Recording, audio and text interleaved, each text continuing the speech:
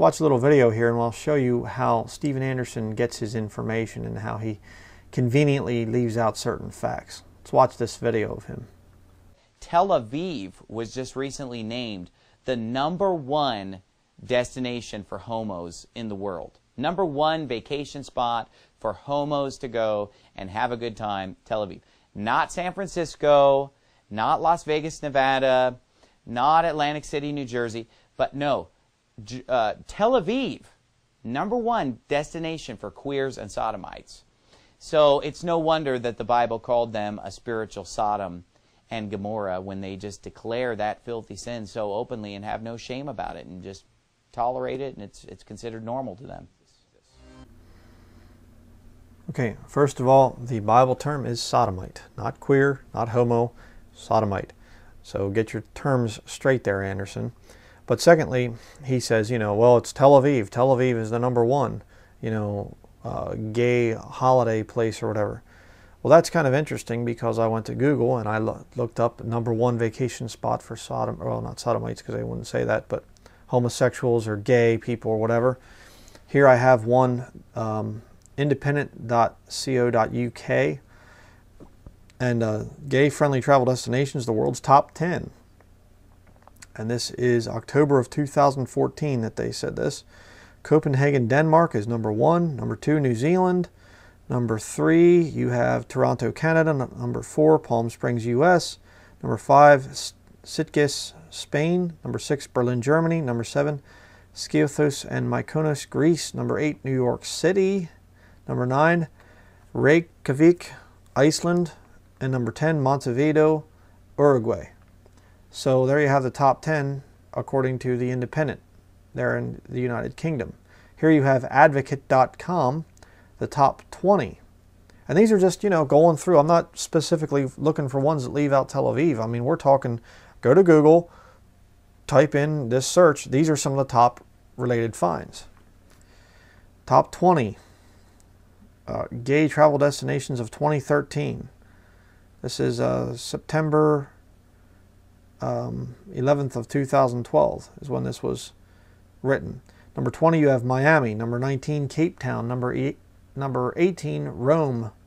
I can believe that. Number 11, Mexico City. Number 16, Berlin. 15, Sao Paulo. 14, Barcelona. 13, Melbourne. 12, Hong Kong. 11, Las Vegas. Number 10, Los Angeles. Number 9, Amsterdam. Number 8, Tokyo. Number 7, Buenos Aires. Number 6, Paris. Number five, San Francisco. Number four, London. Number three, Sydney, Australia. Number two, Rio de Janeiro. And number one, New York City. So that's just two of the top results there on Google. Now, there is an article that does talk about Tel Aviv being a very big popular place, but you have to look for the article. You see, in with all these other ones, they're talking about all these great places for sodomites to go, and they're not even mention, mentioning Tel Aviv. And again, what's the philosophy behind this? The philosophy is that Israel has to be a wonderful place where everybody's saved and everybody's believes in Jesus Christ and just they're holy and righteous and pure to be God's chosen nation. Even though if that was true, what would be the purpose in the time of Jacob's trouble? Why would God outpour or pour out his wrath upon the nation of Israel to correct it one last time? Why would God do that if they were all believing people right now? See, Steven Anderson is just willfully ignorant of Scripture. I don't, he's not ignorant of Scripture. Okay, he knows what the Bible says. He knows he gives the arguments for Bible-believing Christians like myself. The things that we know to be true, Anderson understands it and twists scriptures to get away from it.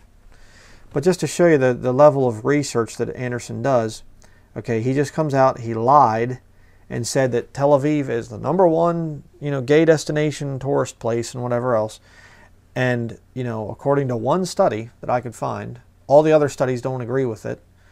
But now let's let's watch and see how, you know, he sets up the straw man. He says Tel Aviv's the number one, and then he comes back later and he says now that we've proved it. Watch this. We've seen the evidence that Tel Aviv is considered the number one tourist place for homos to take their vacations. We've seen the Okay. He said, We've seen the evidence that Tel Aviv is the number one place, you know, for homos or whatever. Uh, I didn't see any evidence.